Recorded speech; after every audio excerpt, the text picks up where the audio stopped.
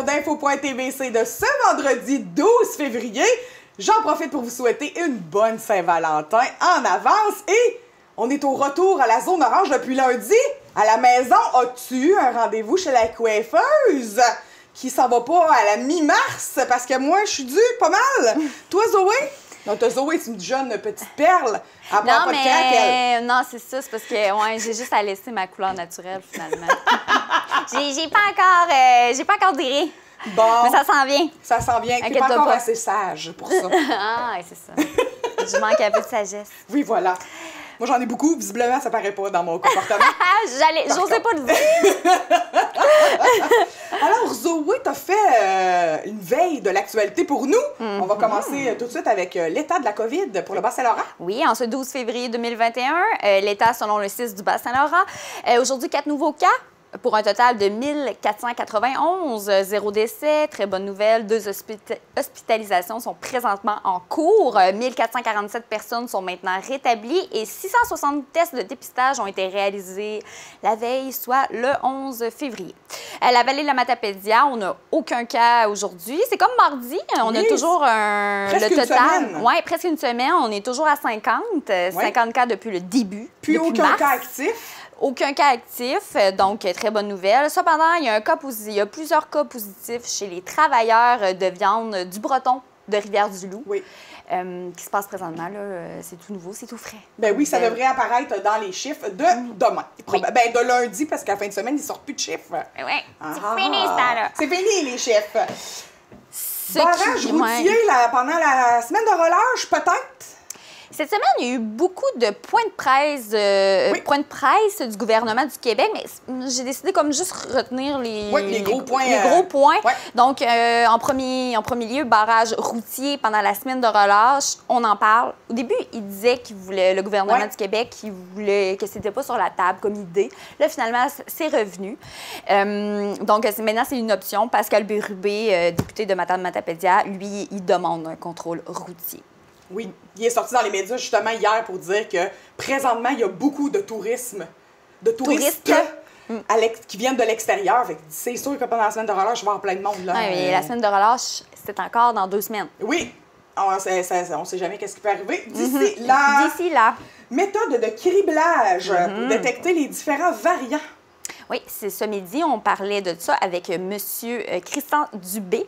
Euh, dès la semaine prochaine, Québec souhaite faire des analyses plus poussées de tous les tests de dépistage. C'était pas ce midi, c'était hier midi. Je, me, je, me re- je me reprends. Euh, D'ici, ah, donc, euh, dès la semaine prochaine, ils vont détecter dans le Grand Montréal, essayer de voir à travers la COVID-19 s'il y a des variants finalement. Puis dans deux semaines, ça serait dans les régions. Si, ça, si ça se déroule bien, c'est nous euh, maintenant qui va avoir ça, euh, ce, ce processus-là. Euh, Rouen-Noranda, Témiscamingue, euh, il y a eu des variants, différents variants, ça s'est très bien géré. Oui. Donc, c'est ça. On espère qu'on va être capable de contrôler tout ça si on en a dans la région, comme Rouen-Noranda, Témiscamingue. Tout à fait. Aide financière pour Montjoli et Laco Mhm. La ministre déléguée au développement économique régional et ministre responsable du Bas-Saint-Laurent, Marie-Ève Proux, a confirmé cette semaine l'appui financier pour deux projets dans le Bas-Saint-Laurent. Euh, 1550 euh, 1 557 792 pour la réalisation de travaux d'infrastructure d'eau pour la mise aux normes des installations d'eau potable au lac au Saumon. Wow. Donc, c'est pour nous, euh, desservant euh, le parc de maisons mobiles par an. Donc, c'est pour tout- c'est surtout pour ce secteur-là. Oui. Euh, alors, il va y avoir remplacement de- du réseau d'Aqueduc, ajout d'un nouveau puits relié à un système de traitement de l'eau euh, au chlore. Environ 80 personnes pourront bénéficier désormais d'une eau potable qui respecte les normes. À l'autre place, euh, qui ont accepté un projet, c'est à Montjoli. Oui. Mhm. Enfin, vous n'avez plus besoin de faire bouillir votre eau. Ça doit être tout un soulagement pour les gens qui habitent euh, le secteur euh, du. Ouais. parc de maisons mobiles. Par... Faire bouillir son eau en 2021, Ça commence à être poche. ouais, ça commence à être Bilan Opération Impact. Ah oui, euh, sur, pour les motoneiges. euh, 6 février passé, Oui. euh, les motoneiges de la Sûreté du Québec étaient présents pour faire de la sensibilisation. Euh, alors, euh, résultat de l'opération, les résultats, 352 motoneiges vérifiés, 21 constats d'infraction pour de l'équipement non conforme, 8 systèmes d'échappement, 7 casques non attachés Oh. et euh, miroirs, plaques non fixées, etc. Bon, 14 constats euh, diverses euh, intra- euh, infrac- infractions. Ils disent diverses infractions, je sais pas. Là. Euh, 30 avertissements et 5 droits d'accès aux sentiers impayés à la FCMQ. Et euh, présentement, les photos que vous voyez, c'est deux photos prises lors de l'opération euh, qui s'est déroulée le 6 février passé. Ben, c'est quand même bien. Vous respectez les normes euh, pas mal. Je suis fière de vous, motoneigiste. Moi, mon beau-papa s'est fait arrêter, puis il avait très bien respecté les règlements. Bravo, Je l'avais papa. je l'avais je l'avais- je l'avais averti, attention! Faut garder ça ensuite, là. On continue de respecter les normes, même si on le sait que c'est plus Ouais. l'opération Impact. C'est Organ- vrai. organisme de bassin versant Mata- Matapédia, Restigouche, trois nouveaux partenaires. Pour trois ans, euh, l'OBVMR euh, peut maintenant compter sur 85% du financement recherché pour les programmes J'adopte un cours d'eau et survole Bentos grâce à trois autres nouveaux parrains partenaires, la MRC de la Matapédia, Bois d'œuvre Cédrico Inc. et la Fondation Richard Adams. Euh, J'adopte un cours d'eau est un programme éducatif de type sciences citoyennes qui plonge les jeunes comme comme vigile au service de la qualité de l'eau. Euh, ces multiples volets font appel à l'étude de l'environnement naturel permettant un diagnostic quant à l'état de santé global du cours d'eau. Euh, ce programme a un effet transformateur chez les jeunes participants. Euh, puis Survol Bantos est un programme de surveillance volontaire de la santé des petits cours d'eau utilisant les macro-invertébrés ben- benthiques. Ah, c'est doit être Bantos ben, ben-. Oui, On se demandait. comment Euh, nommer ça? comme indicateur biologique. Alors, euh, c'est ça. Juste dire que nous, euh, l'organisme de bassin versant Matapédia Restigouche euh, a deux employés certifiés pour faire l'identification Oui. de ceux-ci. Donc, il y a environ 15 à 20 personnes qui font ça au Québec. Nous, on en a deux. Ben, crème, on est chanceux. On est vraiment chanceux. On devrait, la TVC, adopter un cours d'eau. On pourrait l'appeler la, la TVC Rivière. Ah, Ça serait génial. Mais ça va prendre quelques années, je pense. j'ai trop des bonnes idées. Ouais. Invitation à la présentation virtuelle du projet multiplateforme de gestion des matières résiduelles. Oui, on en parle depuis longtemps. Oui, Euh, la Régie intermunicipale de traitement des matières résiduelles des MRC de la Matapédia et de la Métis euh, invite la population à une présentation virtuelle du projet. L'événement aura lieu mardi le 16 février 2021 à 19h30 sur la plateforme Zoom. L'inscription est obligatoire afin d'assister à la conférence via le lien en bas de l'écran que vous voyez présentement. Aussi, la séance sera enregist- enregistrée pour une diffusion euh, ultérieure euh, via le site internet www.ecorégie.ca. c'est intéressant vous, de vous intéresser à ça. Je pense que citoyens qui payaient des taxes, aller là-dessus, c'est un projet qui techniquement diminuerait notre taux euh, de taxation euh, concernant les matières résiduelles. Oui. Donc, euh, soyez intéressés par ça et participez surtout. Parce que présentement, nos matières vont à Rivière-du-Loup. ouais, c'est ça. Puis là, c'est un projet pour les ramener plus près de nous. Oui, donc, euh, Saint-Moïse. ouais. alors, on évite euh, le voyageage de nos matières. Ben, c'est bon pour l'environnement, c'est bon pour nous, puis l'argent revient à la maison. Exact. Ben, merci beaucoup, Zoé, pour ce tour de l'actualité. On s'en va à une courte pause et tout de suite après, on va voir les entrevues que tu as réalisées pour nous.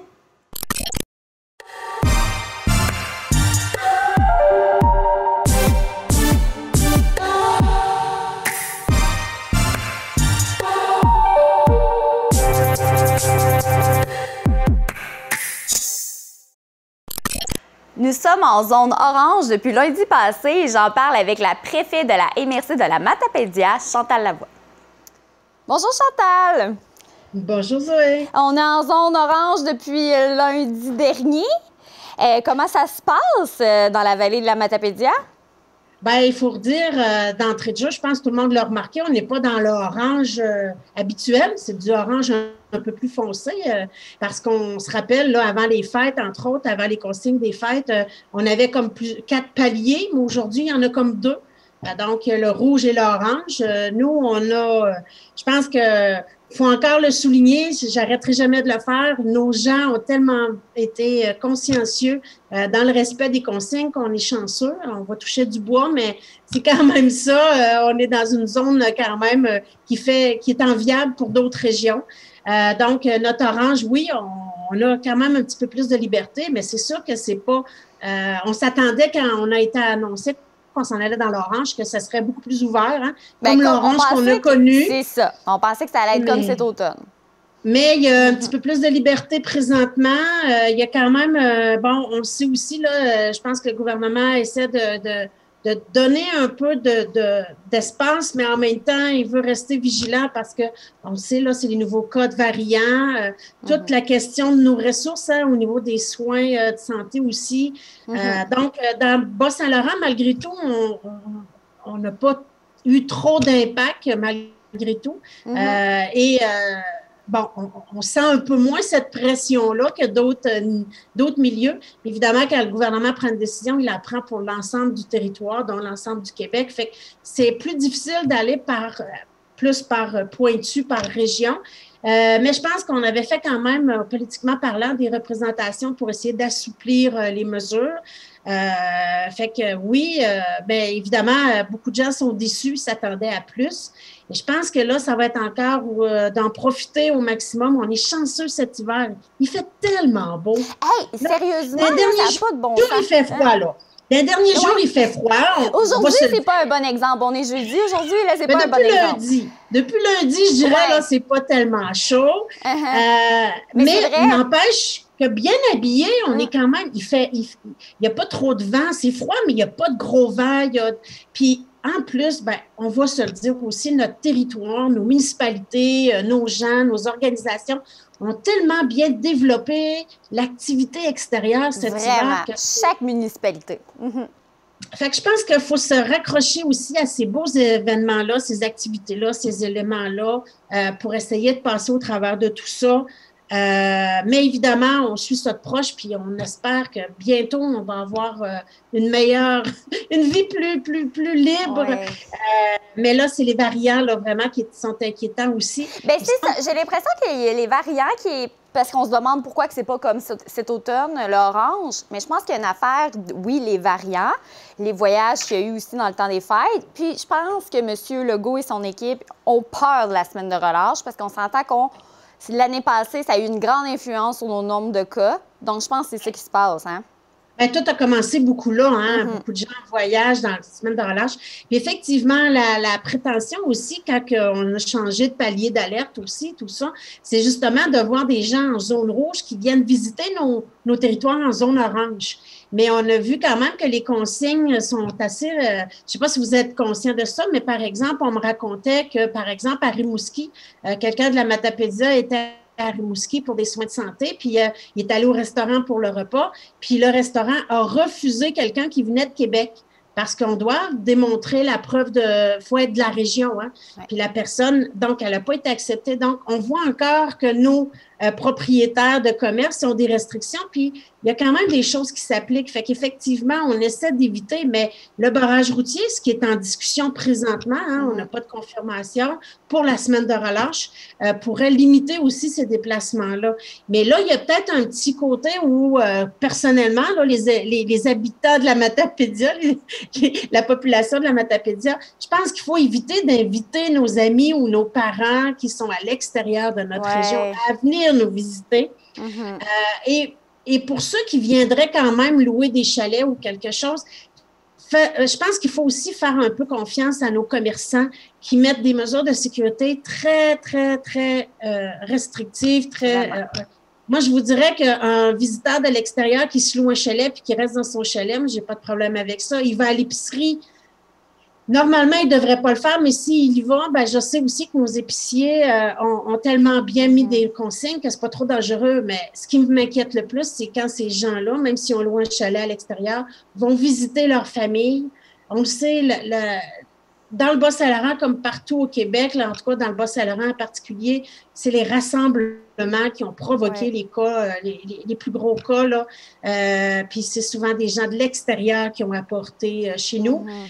Donc, je pense qu'il faut rester vigilant là-dedans. Je fais confiance aux, matapédiennes, aux matapédiens. Je pense que jusqu'à aujourd'hui, ils ont démontré euh, qu'ils travaillaient bien. Je pense qu'ils vont le faire encore. Oui, vraiment. Puis, euh, pour les gens de l'extérieur aussi, on conseille toujours d'aller faire l'épicerie dans sa zone rouge, je veux dire, avant de venir en zone orange et de, ne pas se promener.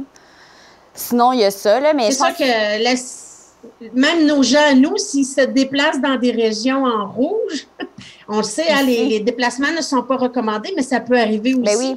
des gens qui s'en iraient en zone rouge quand vous mm-hmm. revenez. N'oubliez pas la quarantaine. Mm-hmm. C'est triste, mais c'est ça, il faut le faire. C'est important. Le dépistage aussi, pour être sûr. Exact. Fait que euh, je pense que quand même, euh, ce, côté préventif-là, des fois, on n'a pas peur pour soi. Euh, il y a des gens hein, qui sont très confiants, qui sont en santé, puis que ça ne les affectera pas. Mais n'oubliez pas de, de, penser aussi aux gens qui nous entourent, parce que si on contamine des gens, puis euh, ces gens-là pourraient avoir des complications, quelque chose, ben, faut, en tout cas, moi, moi personnellement, j'aimerais pas vivre cette situation-là. Donc, je pense pas que quelqu'un aimerait non plus vivre ça. Fait que c'est un peu ça aussi. Euh, des fois, on pense qu'on est euh, fort, puis ça se peut aussi. Hein? Il y a des gens qui sont en très bonne santé, puis, qui, puis on sait les effets sont pas pareils d'une personne à l'autre. Mm.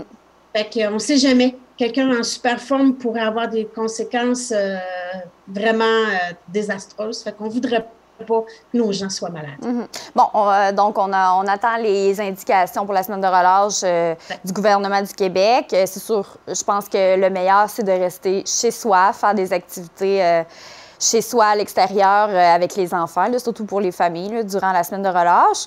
bon, là, les, nos commerces non essentiels sont ouverts depuis lundi.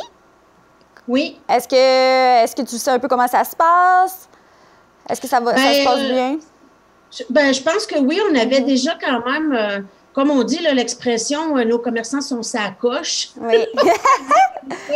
Euh, moi, les, commerces que, j'ai vus où les gens m'en ont parlé, mhm. effectivement, nos gens sont, sont, plutôt en, respect des consignes. puis ça, là-dessus, là, je pense qu'on peut être quand même assez assez fiers, ça aussi. Hein. Euh, puis, mais euh, ben, on a encore, euh, on, le sait, là, la zone orange, il y a quand même certains commerces là, qui sont pas ouverts, par exemple les hôtels. Mm-hmm. mais je pense que quand même, euh, il y a quand même beaucoup d'ouverture sur certains, euh, sur, sur, nos commerces. Il y a encore des restrictions sur la superficie aussi, donc le nombre de personnes qui peuvent être à l'intérieur. Mm-hmm. Les consignes sont toujours là, le lavage des mains à l'entrée, à la sortie, euh, la distanciation. Fait que ça, je pense c'est partout.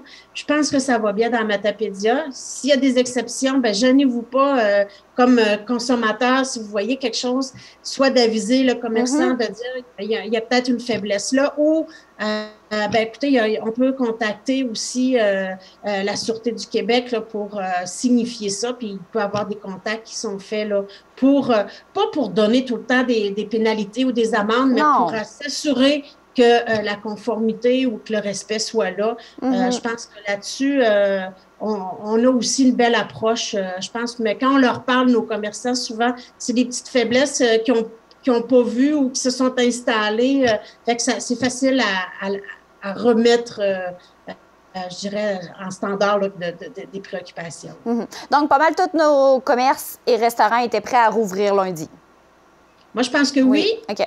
Puis on sait qu'à partir du 26 aussi, là, il y a les musées, pas les musées parce qu'on n'en ben, a pas d'ouvert, mais je veux dire les cinémas, les salles de spectacle. C'est plus là, dans Matapédia, que ça nous touche. Puis, mhm. euh, ben, on a des musées sur notre territoire, mais l'hiver, normalement, ils ne sont pas ouverts. Il faut faire attention. Je ne veux pas dire des mauvaises choses. On, a, des, musées. Oui, oui. C'est vrai. Euh, donc, euh, donc c'est ça. Les restaurants, les commerces non essentiels sont ouverts depuis lundi. Le 26 février prochain, ça va être les salles de spectacle, donc la salle Jean Cossette pour la vallée de la Matapédia et le cinéma aussi, mhm. qui sont prêts à nous accueillir. Il ne faut pas oublier pour les restaurants, hein, il y a quand même des consignes, là, euh, deux adultes avec euh, mhm. des enfants d'âge mineur. Il faut réserver à l'avance, il faut être dans notre région. Euh, donc, les, les gens peuvent aller au restaurant dans le Bas-Saint-Laurent. Donc, euh, faut, faut, faut, faut, il y a des petites restrictions quand même. Puis, je pense que sur le, je sais pas si vous avez eu la chance de regarder ça, mais sur euh, la, page euh, québec.ca, il y a quand même beaucoup d'informations sur justement les, toutes les mesures plus détaillé de, de certains, des certains, euh, tu sais, comme le couvre-feu, euh, les mm-hmm. exceptions de couvre-feu, tous les déplacements, les rassemblements. Euh, par exemple, au niveau des funérailles, hein, on sait que s'il y avait des, au niveau les, les, les, lieux de culte, peuvent être ouverts, mais un maximum de 25 personnes. Donc, il y a des restrictions là plus précises. on n'en parlera pas ici parce que ça bien. Euh, puis, mais, mais il y a quand même des choses intéressantes. Puis soulignons, hein, entre autres, nos résidences pour personnes âgées peuvent maintenant ouvrir leur salle à manger. Oui. Ça aussi, c'était quelque chose de vraiment mm-hmm. attendu dans la Matapédia. On avait fait des représentations beaucoup là-dessus. Mm-hmm. euh, donc, ça, c'est quelque chose, là, nos, nos personnes en résidence ne doivent ne sont plus obligés de manger dans leur chambre. Ils peuvent aller dans des mesures très strictes aussi. Là, euh, soyez assurés que je pense que ça, ça a été pensé pour pas qu'il y ait euh, de, de, de, de, mésaventures, on va le dire comme ça. Mais nos gens euh, peuvent maintenant sortir de leur chambre pour aller manger au moins. Et ça, je pense que c'est un plus aussi. Vraiment. Mais tu fais bien de le mentionner, euh, Chantal, parce que c'est vrai qu'il y a beaucoup de différences avec euh, des, petites, des petites restrictions d'ajouter comparé à la zone orange de cet automne, comme je dis depuis tantôt. Donc, c'est important d'aller s'informer. Oui, comme la salle à manger euh, pour les, euh, pour euh, les aînés, dans les résidences pour aînés. Oui, le couvre-feu, non 20 heures, mais on en a toujours un quand même, c'est 20h30. Avant, on n'était pas, pas obligé de réserver dans les restaurants. Maintenant, on est obligé, etc. Donc, c'est important d'aller s'informer. Oui, si puis la question des deux adultes aussi, là c'est pas obligé d'être de la même adresse, mais il faut pas que ce soit plus que deux. En tout cas, c'est. Il faut que tes enfants soient mineurs si tu veux les amener. Il faut qu'ils appartiennent à un des deux, euh, des deux adultes. Mm Puis aussi, aller, euh, les salles de spectacle aussi. Euh, Karine Lévesque, hier, elle me disait de diffusion mordicus que les masques, on doit même les garder durant le spectacle à partir de maintenant. Euh, on, habituellement, on pouvait l'enlever cet été, cet automne, une fois assis dans la salle. J'imagine qu'au cinéma, ça va être la même chose aussi. Donc, de ne pas gêner de s'informer, oui. Ben oui, on peut s'informer, comme je vous disais, sur le site Internet, mais il y a aussi, euh, les, les, comme je, on disait tantôt, euh, nos organisations comme Diffusion Mordicus et tout ça, ils vont sûrement avoir des affiches ou prévenir ben les gens là, à l'arrivée. Fait qu'il euh, faut faire confiance à ces gens-là mm-hmm. aussi. Puis, mais évidemment, là, on, dit toujours, hein, les, les, détails sont très importants dans tout ça. Mm-hmm. ce qui nous manque au point de presse de M. Legault, pour ceux qui l'écoutent, on n'a pas toujours les détails fins. Il nous dit toujours que les détails vont suivre. Donc, effectivement, il, y a, beaucoup de, choses à, prendre en considération, mais ça se fait. Je pense qu'on peut. Euh, mais je pense que même pour lui, il y a tellement de restrictions, de détails, de situations différentes, d'entreprises différentes, etc., que euh, je pense que même lui, il n'a pas le temps, durant son point de presse, de tout, tout, tout, tout, tout, tout euh, élaborer, expliquer. Oui, euh. la situation évolue tellement rapidement aussi. en plus. puis tout ça, je veux dire, c'est difficile aussitôt que comme quelque chose est comme casé, bien, il y a quelque chose qui arrive qui change le tout. Ben, c'est, mm-hmm. Puis on le sait, là, c'est dans toutes les sphères de, de la vie. Euh, fait que c'est pas juste en santé, c'est en sport et loisirs, c'est en culture, c'est en euh, économique. Ça, ça, ça, ça, englobe tous les champs de, de, de tous les domaines de la vie. Euh, donc, euh, fait que c'est sûr qu'à un moment donné, ben, chaque, chaque domaine ou chaque secteur mm-hmm. va aussi faciliter en, mettant en place des détails pour euh, toutes ces restrictions-là et tout ça. Mais on est capable d'avoir de l'information sur ce site-là. Entre autres, là, je vous dirais qu'il y a beaucoup d'informations. Si les gens ont accès à Internet, là, ben, on pourra peut-être, il faut vraiment, sur notre module de recherche, il faut inscrire québec.ca. Puis vous allez avoir, il y a, une bande orange, euh, rouge qui dit justement pour les consignes de votre région. On clique là-dessus, puis c'est quand même bien expliqué. C'est très clair, oui.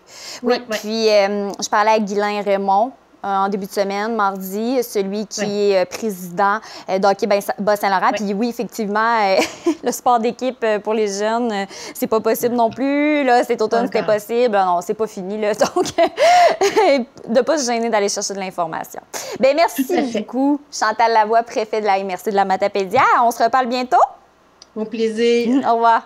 Au revoir. Ne manquez pas le Télébingo tous les dimanches midi 30.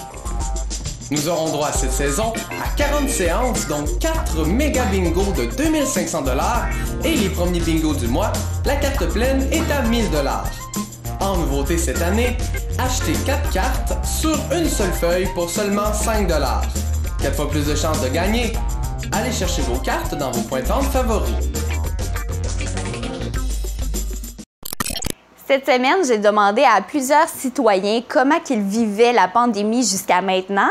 Je vous laisse euh, regarder qu'est-ce qu'ils avaient à dire. Comment vous avez vécu le confinement jusqu'à maintenant? C'est la part de chacun, hein? Chacun, chacune, c'est, c'est tout ou pas tout. Tu sais, parce que... Mais on va, on va passer au travers. Comment avez-vous vécu votre confinement jusqu'à maintenant? Ben, ben, ben tanné. Je suis contente que les, les- les magasins soient ouverts, mais avec prudence. Avec prudence. Est-ce que vous trouvez que le gouvernement Legault fait bien ça? Il fait de son mieux. Il fait de son mieux? Oui, je pense. C'est dur de le critiquer parce qu'on ferait peut-être pas mieux à sa place. hein. Il y a Des gens qui le critiquent parce que on sait pas comment on réagirait à sa place. Comment avez-vous vécu euh, la pandémie euh, jusqu'à maintenant? Je trouve ça long, je trouve ça plate. Et je trouve l'attitude de M. Legault, paternaliste et papa fâché, un peu condescendant à l'égard du peuple. Ah oui? Beaucoup. Vous aimez pas la façon que M. Legault gère la pandémie? Euh, c'est pas nécessairement la façon qu'il gère, c'est la façon qu'il s'adresse au peuple. C'est le gros papa fâché qui chicane les enfants, là. C'est un peu fatigant. Puis le couvre-feu, totalement inutile. OK. Sinon, est-ce que vous trouvez qu'il est pas assez sévère, trop sévère par rapport aux mesures sanitaires, etc.? Comme je disais, le couvre-feu, je trouve ça totalement inutile. Les autres mesures, ça, a- ça a du sens, mais les gens les appliquent pas le trois quarts du temps. Des gens pas de masque, des gens euh, qui sont trop proches, euh, des rassemblements euh, sur le bord des, euh, sur le bord des patinoires. Euh, tu sais, t'en as là, des choses qui sont totalement aberrantes, personne ne dit rien. Et comme le couvre-feu, qui ne sert pas à grand-chose, ça, ils mettent en vigueur puis ils donnent des, des contraventions. Tu sais, c'est- comme deux poids, deux mesures. Donc, peut-être pas assez de surveillance, finalement. Mal géré. Mal géré. Je le verrais plus comme ça. OK. Puis la réouverture des commerces euh, non essentiels. euh, À un moment donné, il faut que le monde vive aussi. Là. Comme le couvre-feu, si ça se poursuit puis il va commencer à faire clair plus tard, essaie de rentrer les gens dans leur maison à 8 heures euh, tant qu'il fait clair dehors. Pas sûr que ça va, ça va passer si bien que ça. Et on ressent un niveau d'anxiété puis un niveau d'agressivité au niveau de la population. Ça n'a comme pas d'allure. là. Tu sais, les gens, ça se pogne, t'as les masqués, les non-masqués, ça, ça s'en vient ridicule. ouais. Donc, pour vous, c'est vous trouvez que c'est une bonne idée aussi pour la santé mentale, c'est ça que j'entends? Énormément. Euh, ça se détériore. Non. Je serais curieux de voir là, au niveau des statistiques le niveau de gens qui vont consulter au niveau de l'anxiété. Tu as une anxiété présente qui grossit, qui grossit, qui n'est pas répondue. Puis ça, ça risque de faire des problèmes plus tard. Puis déjà que c'est pas facile, tu parles de violence conjugale ou ainsi de suite, les gens qui sont pognés ensemble, c'est pas, c'est pas winner là, comme euh, situation. Êtes-vous content que les commerces non essentiels ont, ont rouvert? Oui, oui, oui. Moi, satisfait. Euh, ma femme satisfait, moi, moins un peu. OK. Parce que j'ai peur que ça remonte, j'ai peur que ça s'échappe puis euh, ça décolle. Ça va bien, là. OK. J'aimerais bien que ça reste comme ça, là. Donc, pour vous, vous aurez préféré que ça reste fermé encore? Ben, c'est parce que l'on vient dans les magasins, puis c'est plein. À la distanciation, il n'y en a pas. euh, euh, ils ont toutes les masses, mais la distanciation, là, il n'y en a presque pas. On met du pied, mais ça passe en arrière. C'est pas. euh, ouais, c'est pas. pas- En tout cas, pour moi, c'est pas sécuritaire, mais euh, enfin. on Selon vous, les gens respectent pas assez les règlements? Euh, La la distanciation, non. Non? Non, ça, c'est sûr que non. Les masses, oui, euh, ça, c'est bien correct. là. Uh-huh. Mais pour le moment, ça va bien. Ben, on va le savoir dans une semaine. Ben oui, mais c'est encore drôle. Ici, on a peu de, de cas, mais j'avoue que euh, si les gens, exemple, dans les grosses villes, respectent pas la distanciation, là, ça va être autre chose euh, quand que... Oui, c'est ça. Nous autres, au Bas-Saint-Laurent, là, ça va dépendre toujours des, des- des frontières, des, des, des, bornières qu'ils vont faire à la, à la fin de relâche. Oui. C'est là qui peut être le plus dangereux. D'après moi, c'est là qui va être le plus dangereux. Ouais. Après, passer ça, ça va très bien aller, comme on dit. là. Êtes-vous en accord du fait que les commerces non essentiels viennent d'ouvrir lundi?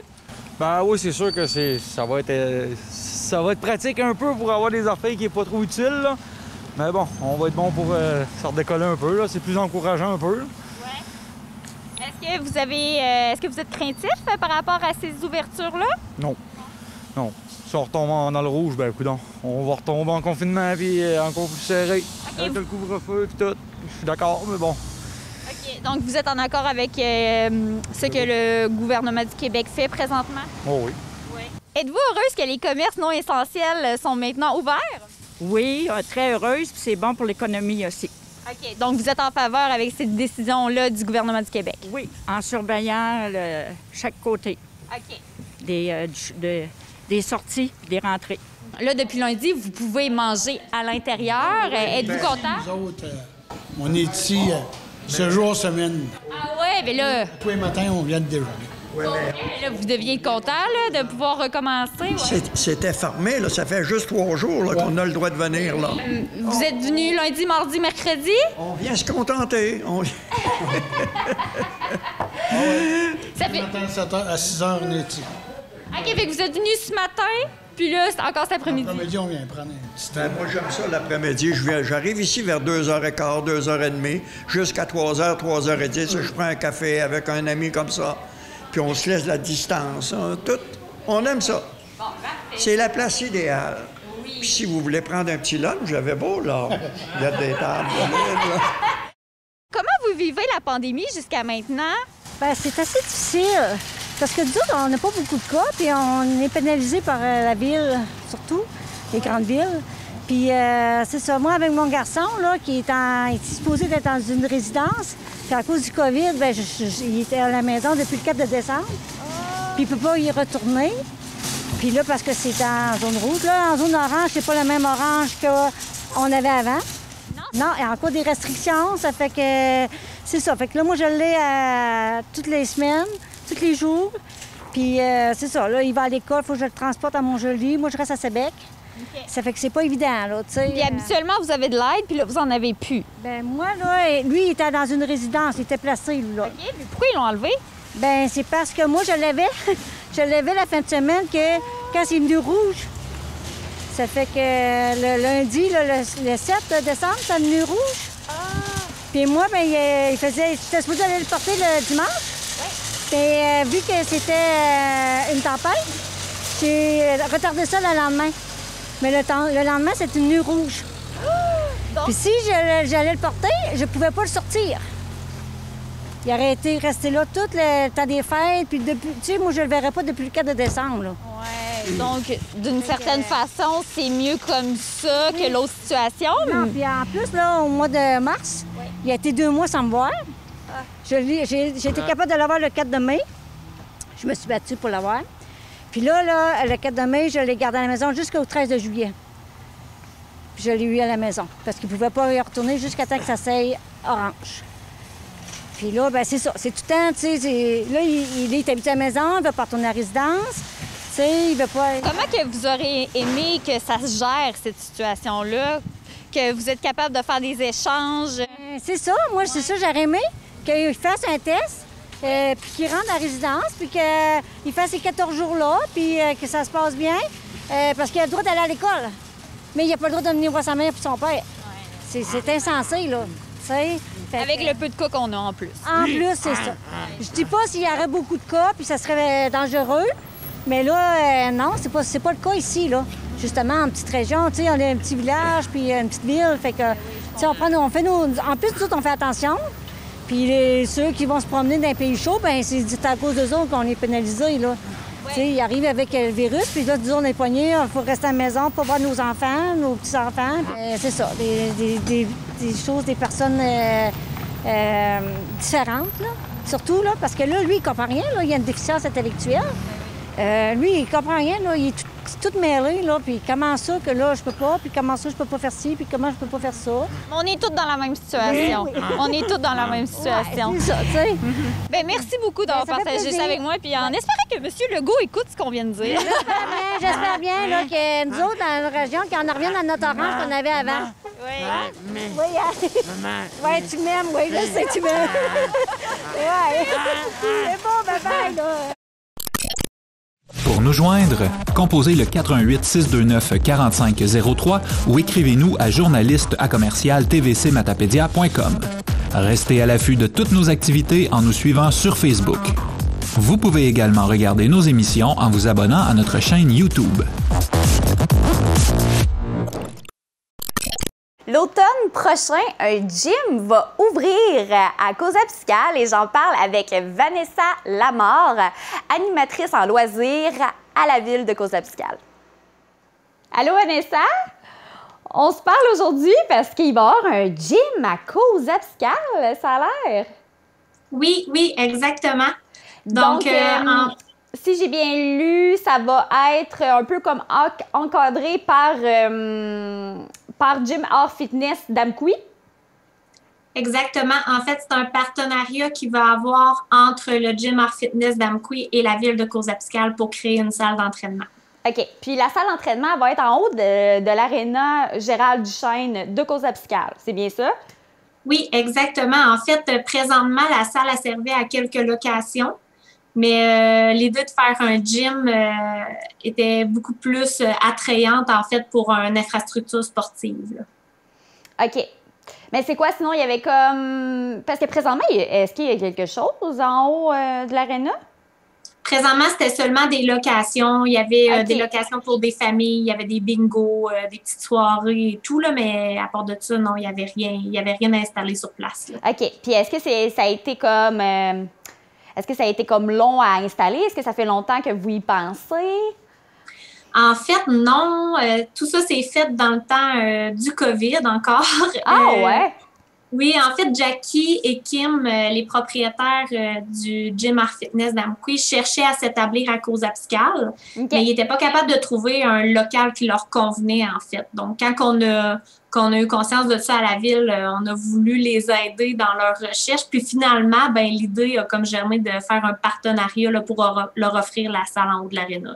OK, donc c'est pas vraiment l'idée de la ville de Costa mais bien de, des, de les gens d'Amqui de Art Fitness qui avaient le goût de, d'en ouvrir un aussi à Costa De s'établir à Costa oui. De s'établir. OK, c'est bon. Fait qu'il n'y en aura plus à Amqui. Oui, il y en a à Amqui, il y en a à Québec. On continue, on en veut partout. OK. Donc, j'ai envoyé une fausse alerte. Il va y en avoir une à Amqui et à cause Oui. OK, parfait. Euh, alors là, les rénovations vont commencer quand? Dans les prochains mois? Bien, ça va commencer quand on va pouvoir. C'est sûr, en raison du COVID, c'est dur de dire exactement. Surtout que là, l'aréna est comme semi-ouverte, semi-fermée. Euh, on attend des confirmations, mais ça devrait commencer ce printemps. OK, parfait. Puis euh, ben là, l'enfant, vous avez eu cette idée-là pendant la pandémie, mais j'imagine que vous étiez quand même relax au début parce que vous attendiez, euh, vous attendiez de voir avec les mesures sanitaires du gouvernement du Québec quand vous allez pouvoir lancer le projet.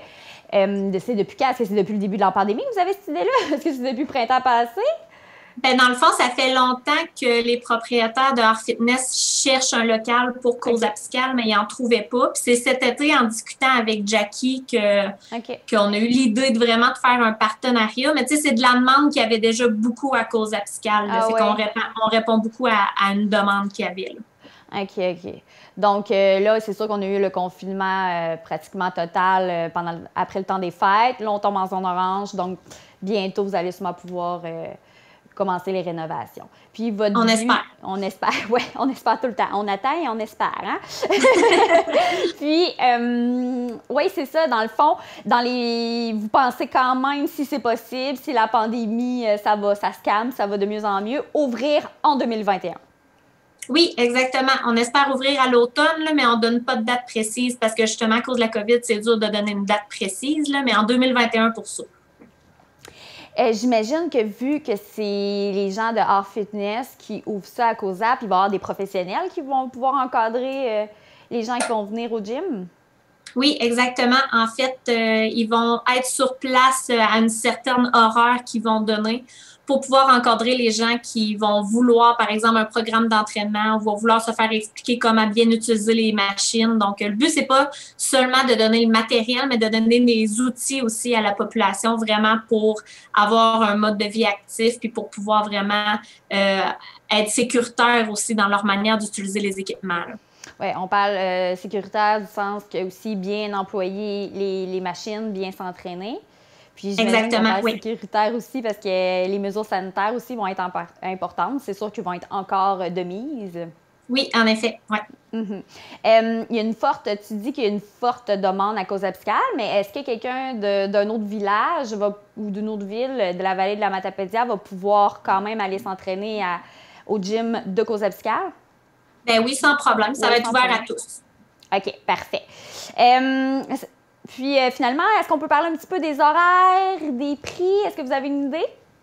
Oui, en fait, euh, la porte du gym va être équipée d'un système de carte à puce comme on connaît déjà ailleurs, là, qui va permettre aux gens de venir entre 5 heures le matin et 11 heures le soir. Ah. Donc, on ouvre ça pour permettre aux gens qui ont des horaires différents, qui travaillent de soir, de nuit, des fois, de pouvoir venir s'entraîner. Puis, euh, les prix ont déjà été fixés. Là, en fait, ça va être 48 dollars euh, plus les taxes, en fait, par mois. Sinon, ben, on va avoir aussi des cartes à punch qui vont pouvoir se procurer. Donc, pour 15 accès au gym, ça coûterait 105 euh, à part les taxes. OK. Puis là, pour donner une idée, euh, pour donner une idée aux gens qui connaissent, qui connaissent le hors fitness euh, à, à Amqui, est-ce que ça va être un peu pareil, du sens que aussi grand, à peu près le même nombre de, de machines, etc.? Ou ça va être vraiment En fait, ça va être oui, en fait, on en parlait justement avec Jackie ce matin. Ça va être un peu plus grand qu'à Amqui. Ah oui? Euh, par contre, à Amqui donne beaucoup de cours de groupe, tandis qu'ici, ça va être vraiment centré plus sur euh, l'entraînement euh, individuel. Par contre, il va quand même avoir un espace pour qu'il puisse donner des petits cours de groupe comme il faisait déjà ici. OK. Puis les prix que tu nous as dit un petit peu plus tôt, est-ce que ça ressemble beaucoup à, au gym d'Amqui? Ah, c'est une bonne question. Ça, je suis pas au courant. OK. C'est bon. Donc, OK. Fait qu'on va à Causap si on veut peut-être plus grand, plus individuel. Euh, puis si on a envie d'avoir des cours de groupe, ben, ça se passe plus à Mkoui. Oui, un peu, oui. Si on veut, euh, grosso modo, si on veut vulgariser. Parfait. Oui. tu aurais d'autres choses à ajouter, Vanessa? Euh, ça ressemble à ça. je pense qu'on a fait le tour. OK, parfait. Ben, merci beaucoup. Je sais qu'on a une primeur sur l'événement, la nouveauté qu'il va y avoir à COSAP. Donc, merci beaucoup de nous avoir parlé de ça. Ben, merci à toi. Bonne journée. Au revoir. Bye. Cette semaine, à l'émission Héritage, René Canuel rencontre Benoît Sinclair. Benoît a toujours eu un souhait, c'est de, de jouer son âge au golf. Dès vendredi, l'émission sera diffusée chaque jour aux heures suivantes. Quand il est devenu octogénaire, ben là, c'était un peu plus facile. 84, 85, 86, oui, il a réussi à jouer son âge.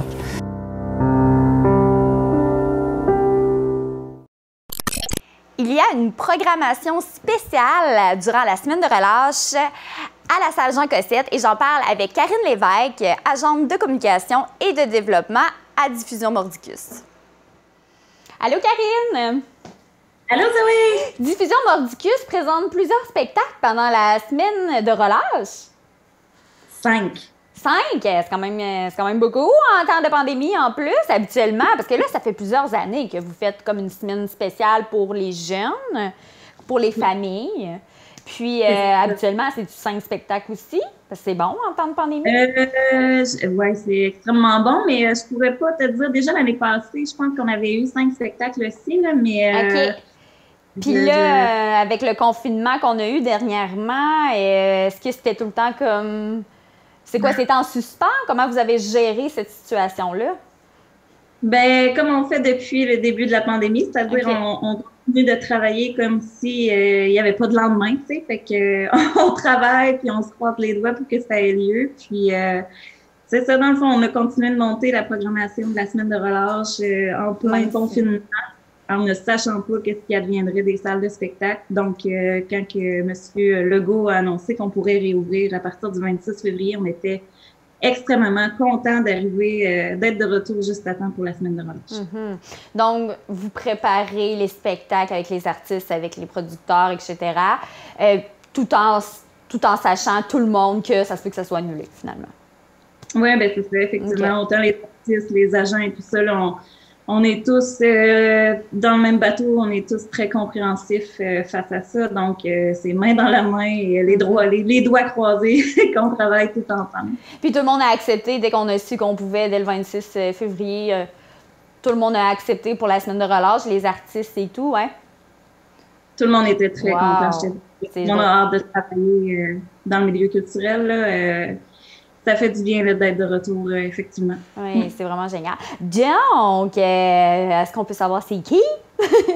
Quel artiste qu'on va avoir pendant cette semaine-là? Ben oui, ben écoute, ça va commencer. Euh, en fait, je, dois, je dois t'expliquer que, considérant qu'on a, qu'on a dû fermer jusqu'au 26 février, il y a eu des spectacles qui ont dû s'annuler encore. Et on a pu en reporter un, dont Ludovic Bourgeois, en fait, qui on a mhm. reporté, on a reporté au dimanche 28 février. Donc, ça va être Ludovic qui va donner le coup d'envoi de la semaine de relâche, si on veut, mhm. à la salle 107. Juste vous mentionner aussi que euh, pour respecter le, le couvre-feu, dans le fond, les spectacles en soirée vont dorénavant être à 19h. Donc, euh, Ludovic Bourgeois va être dimanche le 28 février à 19h pour laisser le temps aux spectateurs de retourner chez eux euh, à temps pour le couvre-feu. Donc voilà, le spectacle de Ludovic Bourgeois, ça va être le premier spectacle euh, depuis la réouverture et qui va faire l'ouverture de la semaine de relâche. Mais ça marche, ça marche vraiment, Ludovic Bourgeois, même si ça a été reporté. Je trouve que ça fonctionne pour les familles parce qu'il a passé à la voix. Puis la voix, c'est une émission super familiale. Donc, euh, je suis sûre que les gens vont être au rendez-vous. Tout à fait. Oui, oui, la vente de billets, ça va très bien. Puis euh, Ludovic est venu quelques fois à la salle, puis euh, il, a, toujours donné un super de bon spectacle. Fait que c'est elle ne pas manquer, euh, évidemment. Comme son père. Oh, oh oui. Amène-moi pas. Amène-moi pas. Parle-moi pas là-dessus. Ensuite, tu, pourras, tu pourras couper au montage. ben non. Par la suite, donc euh, lundi le 1er mars, on va recevoir euh, les Foutoucours avec leur spectacle Brotipo. En fait, les Foutoucours sont, euh, sont déjà venus à la salle eux aussi, ça commence à être des habitués. C'est des gars de Montréal, c'est une compagnie de Montréal qui font du cirque, de l'acrobatie et qui se sont produits le spectacle Brotipo qu'on va voir à la salle Jean Cossette. En fait, il, a, voyagé dans 18 pays avant de venir dans la vallée de la Matapédia. Et il y a eu euh, énormément de distinctions, de, de, prix coup de cœur du public et tout ça. Donc, on est vraiment chanceux de les avoir. C'est eux qui vont euh, offrir le premier spectacle jeunesse de la semaine de relâche. Est-ce que ça change beaucoup pour la, la disposition de la scène? Du sens que les autres, est-ce qu'ils arrivent avec leur matelas et tout? Est-ce qu'ils font des. Est-ce que tu le sais si c'est vraiment comme intense pour vous de les recevoir? C'est un spectacle. Ça, ça, euh, ce spectacle-là est mm-hmm. quand même, euh, je crois, assez euh, léger en termes de, de technique, là, je te dirais. OK, OK, c'est bon. Mais oui, c'est sûr qu'évidemment, euh, on ne peut pas recevoir à la salle Jean Cassette toutes les productions en cirque. Des fois, c'est clair. Hey, c'est vraiment génial. L'espace ne le permettrait pas, mais dans ce cas-ci, c'est très faisable. C'est faisable, c'est possible. OK. Oui. Ensuite, mardi le 2 mars, euh, on va recevoir David Fissette, qui est aussi euh, un clown et un acrobate euh, de Montréal. Dans le fond, pour le spectacle qui s'appelle À fleur de ville avec Monsieur Gazon. C'est un artiste qui est très créatif, qui a beaucoup de personnages. J'ai vu un petit, un petit extrait, là, vous pourrez aller voir sur la page de diffusion Monticus vous-même. Il y a plein de décors, il y a plein de costumes, euh, des gros casques, des petites voitures. En tout cas, ah c'est assez drôle à voir, donc euh, aussi à ne pas manquer. Ensuite de ça, on va recevoir Brimbelle pour une deuxième fois à la Sage Jean Cossette. Brimbelle avec son nouveau spectacle qui s'appelle euh, Sur le chemin des saveurs. En fait, c'est son tout nouveau spectacle et c'est en chanson. Et euh, le premier, la première fois qu'il était venu à la salle, Jean Cassette avait été assez fabuleux aussi. il y avait beaucoup de papas qui accompagnaient leur enfant. Brindelle, elle est très jolie. Elle ah, OK. J'étais comme, ben voyons. Pourquoi des papas? OK, elle est très jolie. Oui, bon, je comprends. C'est vraiment le fun de voir ça. Et, ça, ce spectacle-là, est-ce que c'est plus un, spectacle pour les enfants-enfants, c'est comme de 2 à 5 ans ou? Euh, c'est familial, en fait. C'est pas pour tous les âges, je dirais. Enchanté, en fait. fait que ça, peut euh, à, tout, à tout âge, je te dis. Comme tous les spectacles de cette semaine. OK, c'est bon. Parce que des fois, on voit comme euh, Annie Brocoli, exemple, là, dans le temps, dans les années 90, quand c'était moi. Annie Brocoli, on s'entend, c'était plus pour les 2 euh, à, à 7 ans. Là. Mais là, c'est vraiment plus pour comme toutes les jeunes. Oui, oui, oui, quand même. C'est assez accessible euh, à tous. Là, je te dirais, si tu as 15 ans, peut-être que non. Mais euh, pour le reste, ça devrait, ça devrait bien se passer. Euh, ensuite, j'ai dit le 4 mars, on reçoit Atlas Géocircus euh, 3, Atlas dans l'espace. Fait qu'on va voyager, oui, j'ai oublié de te dire. Oui. Notre thématique de la semaine de relâche, c'est euh, des spectacles qui vous feront voyager en toute sécurité. Ah. Parce qu'évidemment, ben, à la semaine de relâche, euh, c'est peut-être plus compliqué de voyager dans le sud actuellement. hein. Mhm. Et, euh, nous, ce qu'on vous propose, c'est de voyager en spectacle. Et là, vous allez aller dans l'univers, dans l'espace avec Atlas. Atlas aussi est déjà venu euh, à la stage Jean Cossette, mais c'était pour des représentations scolaires.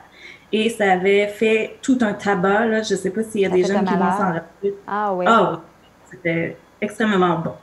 Fait que c'est à ne pas manquer aussi. Et finalement, vendredi, le, le- le 5 mars, notre dernière journée, mais non la moindre, avec Bill Bestiole, mais c'est les créatures du Jurassique. Je sais pas, Zoé, toi, quand tu étais jeune, est-ce que tu tripais ces dinosaures? Ben encore, là. non, mais, non, mais, non, mais il y a- vraiment beaucoup de, de gros films euh, au cinéma, là, des gros euh, avec les Jurassic Park là, là, qu'on connaît. là. C'est pour tout le monde, je pense. Là. Donc, euh, oui, même encore aujourd'hui, j'aime bien regarder des films de dinosaures. Le dinosaure aussi, ça marche. Oui, effectivement. Donc, ça va être super intéressant, puis très, euh, autant ludique, mais très euh, éducatif aussi, très instructif. Puis Bill Bestiole, pour ceux qui le connaissent, euh, il y a beaucoup de support visuel, si vous comprenez ce que je veux dire. Fait qu'il va avoir des bestioles, et ça sera pas seulement que des dinosaures, il va y avoir des, des créatures bizarres. là. Mais ça, ça va être super intéressant, faut pas manquer ça aussi. J'ai dans tous les spectacles, Zoé, là, pour respecter la distanciation physique de 1,5 mètres entre les bulles familiales, bien évidemment, Mhm. on a seulement pu mettre 120 places de disponibles pour chaque spectacle. Fait que c'est ça qu'on vous, on vous suggère de faire quand même rapidement parce que ça risque, ça risque de se vendre assez vite. Et euh, dans le fond, les billets vont être disponibles à partir de maintenant. Ben, c'est-à-dire, euh, oui, quand ça va sortir. Ça sort demain, c'est ça? Ça sort oui, vendredi soir. Là, on est mercredi. Après-demain. D'accord. Ben, à partir de jeudi, donc hier. Hier. C'était disponible à partir d'hier. Parfait. Sur euh, le site euh, de Diffusion Montis et euh, à la billetterie euh, au Select Hotel. Et le jour même euh, du spectacle au guichet, mais encore là, comme je vous dis, s'il reste des billets. OK. Bon, donc, comme un peu comme d'habitude, puis niveau euh, mesures sanitaires, un peu comme cet automne, finalement. Mais euh, là, il y a 125 billets, c'est ça? C'est 125? 120. Est-ce qu'il y a moyen, parce que des fois, je sais que vous le faites de manière aussi euh, qu'on peut le regarder à la maison, puis c'est capté? Non, pas cette, euh, pas cette fois, pas pour la semaine de relâche. On est en train de, de regarder la possibilité de, mais je- à l'heure actuelle, je peux pas vous OK, promettre. c'est bon. Ben, je pose des bonnes questions. Je Excellente Une excellente question. question. Merci beaucoup. OK, donc on va le savoir euh, dans, dans les prochains, dans les prochains jours, finalement, si les gens vont pouvoir le regarder de la maison aussi. Parce qu'habituellement, il y a un lien, euh, juste rapidement pour expliquer aux gens, il y a un lien. On, on peut acheter un billet, un billet virtuel, puis on a un lien qu'on peut l'écouter en direct, mais de chez nous. Donc, c'est plus sécuritaire. Parfait. Excellent. Et euh, j'aime bien votre, euh, votre titre. de la- C'est quoi la semaine de relâche? C'est le, Des spectacles qui vous font voyager en toute sécurité. Non, c'est parfait. Ça, ça fonctionne vraiment cette année avec la pandémie, vraiment. Est-ce que tu aurais quelque chose à ajouter, Karine? Oui, j'aimerais ajouter que, euh, en fait, avec la réouverture, euh, vient aussi des nouvelles mesures, euh, une nouvelle mesure, je devrais plutôt dire. Euh, dorénavant, le port du masque de procédure, le, le masque Mhm. médical bleu ou blanc, va être euh, obligatoire pour toutes les personnes de 10 ans et plus. Euh, Ah pas seulement les déplacements, mais durant euh, toute la durée du spectacle également. Donc, c'est obligatoire pour les personnes de 10 ans et plus. Ce n'est pas obligatoire pour les enfants de 2 à 9 ans. Par contre, il est recommandé par la santé publique de porter un masque ordina- euh, ordinaire ou un couvre-visage. Et pour les enfants de 2 ans et moins, ben, ce n'est pas recommandé simplement. OK, Voilà. c'est bon. La programmation de la semaine de relâche, euh, c'est grâce à qui? C'est grâce à Desjardins Caisse euh, Vallée de la Matapédia, qui euh, est notre partenaire de saison. Mais c'est aussi possible grâce à Métro, qui d'ailleurs vont offrir, comme à chaque année, une collation santé euh, individuelle gratuite pour toutes les familles après chacune des représentations. Ah, parfait. Très important à le mentionner. Merci beaucoup d'en avoir, d'en avoir parlé. Bon, ben merci, Karine. Puis je te souhaite une belle semaine de relâche, une belle programmation et aussi euh, une belle ouverture le 26 février prochain. Merci beaucoup, t'es bien. Au revoir. Bye. Informatique Barest est responsable de l'entretien du matériel informatique de votre TVC. Informatique Barest, vente et réparation d'ordinateurs, services commerciaux et résidentiels. 418-629-INFO. Conclut notre émission d'aujourd'hui, 12 février. Dimanche, ce sera la Saint-Valentin. Zoé, as-tu des plans pour ce dimanche? Ah, rien du tout. Bon. Pandémie oblige. Ah, OK. Ouais. Tu vas fêter ça avec euh, ta famille, j'imagine, Ouais, pa- Mes parents, parce que j'habite avec mes parents. Alors, si jamais vous êtes intéressé par Zoé, vous pouvez composer Non, je parle le pas de ma vie 418. personnelle. Je parle pas de ma vie personnelle. Je suis journaliste. Excusez, je vous donnerai le numéro de téléphone. Donc, merci beaucoup, Zoé. Passe un beau week-end. On se retrouve euh, À toi mardi. aussi, à vous aussi. On fera un suivi de la Saint-Valentin de Zoé mardi. Non. Et merci aussi à vous à la maison d'avoir été des nôtres encore une fois cette semaine. Merci beaucoup de votre fidélité. Je vous invite aussi à ne pas manquer sur les ondes de la télévision communautaire le gala reconnaissance de la Chambre de commerce qui a eu lieu plus tôt euh, en novembre dernier. On y célèbre les entreprises d'Amatapédia et vous allez voir, il y a une certaine télévision communautaire qui gagne un prix euh, culturel pendant le gala. Là. Ben voyons. Donc, euh, ben voyons. Donc Zoé est toujours là quand je finis avec vous seule. On est bien énervés, c'est la Saint-Valentin, on a mangé plein de chocolat tantôt. Alors je vous en souhaite tout autant à la maison. Merci beaucoup d'avoir été des nôtres, on se retrouve mardi.